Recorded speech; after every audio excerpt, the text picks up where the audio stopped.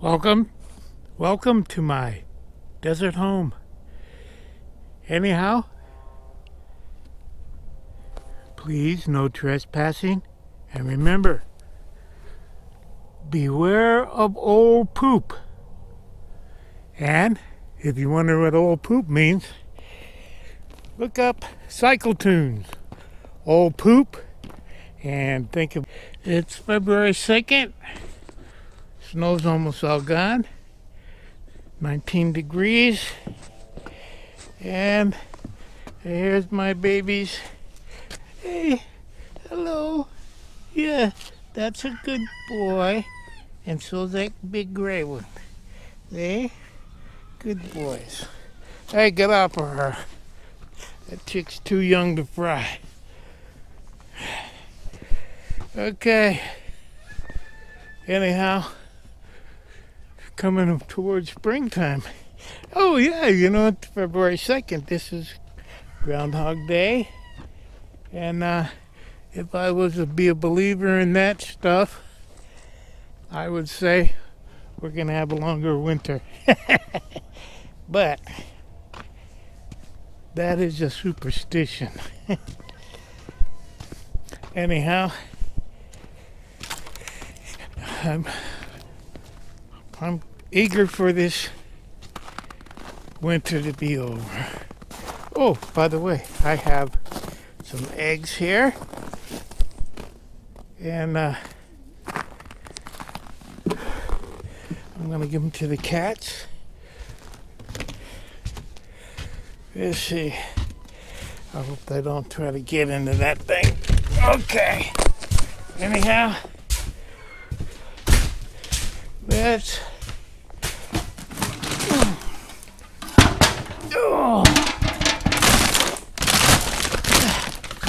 Looks like I need more cat food. Yeah, definitely need more chicken feed. I'm gonna have to get into that in the town tomorrow. Get, get some more of both. Come on, move back. Move back. Oh, you were checking that, that out, huh? Okay. Here's the problem. I don't have a tripod for this GoPro. Yeah. I only got two hands too. My screen went black and I don't know what I'm seeing. Yeah. Okay. Okay, come on. Come on. Come here. Kind of divided up. Anyhow, there you go. Now, if I had a tripod, this would be easier to show you.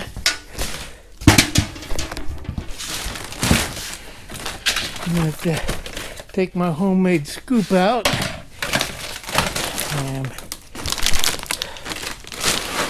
dump this in. Come on hard to do with only two hands. Okay. Let's get him some corn.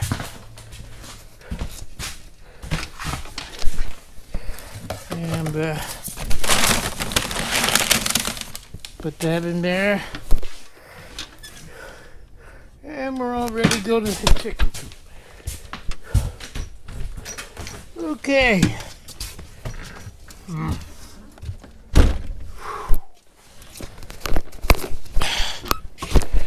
Put that in there for easy carrying. Yeah, here we go. Say my screen goes black and I only got two hands and I have to bump it with my nose to see when I'm Well, you can't say filming because there's no film involved.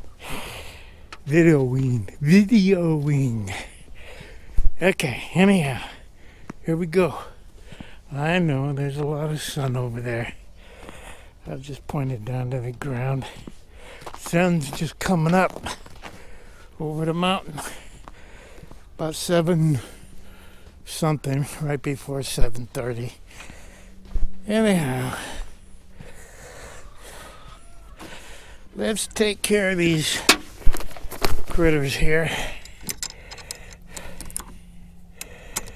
Ooh. Alrighty. Maybe I should have used my head head thingy and my head thingy. My headband with the mount on it.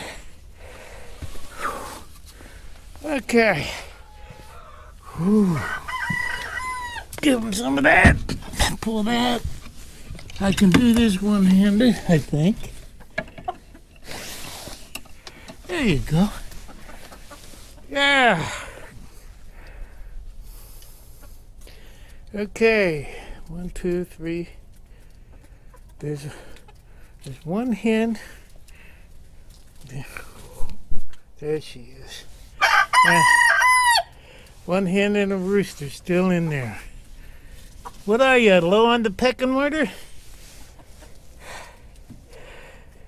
Okay.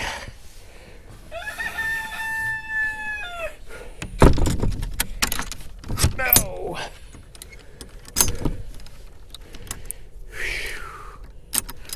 Okay. Both these 4x4s are there to keep critters out. I saw cats going through that, getting in there before. And every once in a while, this thing kind of gets warped a little bit. And I think maybe they could get through there. So, okay. Dark in here. I know. Uh, it's a little over freezing.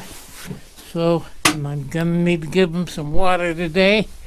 But I'm gonna turn off the heater. My uh, heating bill was atrocious. I got uh, okay.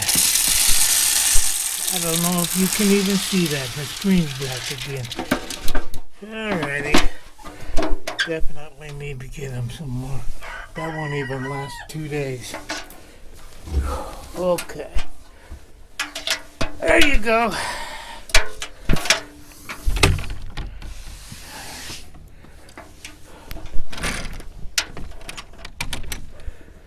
Whew.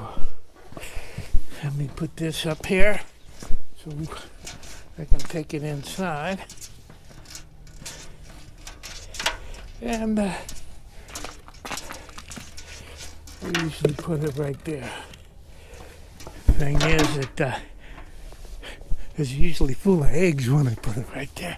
Well, not full, but you know, little by little it fills up maybe three or four days to fill that bucket with the eggs. And now I'm going to open the gate just in case anybody wants to stop by and bring me some packages. I know I don't have any, but like I say, I Got my uh, my son and his little family, and that's the reason why the electricity bill so dang high. I am starting to understand why it's a comic. What would you call it? Trope or meme? I don't know. With the old, the dad always shouting about the lights on. There. See, I can't do that one-handed. So, this will be adieu. That, that's my broken French for goodbye. Okay, we're out here at the old sheepfold. standing in the sheep chute. Gonna do a little Bible study. Okay. Let me see if I can get some light on that. His divine power has given us everything we need. This is uh, 2 Peter chapter 1, verse 3. His divine power has given us everything we need for life and godliness. Through our knowledge of Him who was called by us by His own glory and goodness. Through these He has given us His very great and precious promises, so that through them you may participate in the divine nature and escape the corruption in the world caused by evil desires. Now, I'm going to go to another Hebrews chapter 11, verse 6. Without faith, it is impossible to please God because anyone who comes to Him must believe that He exists and that He rewards those who earnestly seek him. Okay, so you want you want uh, the promises of God, you got to believe that He exists, and not only that, you got to have faith, which is putting that belief into action. Now the funny thing is, okay, I was 18 years old, and. Uh, I I was going I was going nowhere with my life. Didn't have any purpose.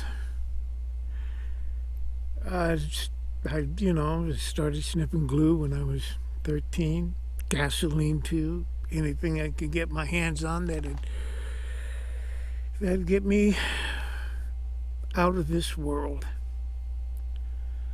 And of course in the drinking beer and hanging around the, the guys in auto shop. And then the hippies came in after a couple of years of high school and marijuana and LSD and yeah. And uh, I was I was desperate for something to change. And one day I picked up this Bible in my bedroom and I said, Jesus, please help me. Please help me. Please. Oh, I remember what I said. My exact words were, Jesus, save me.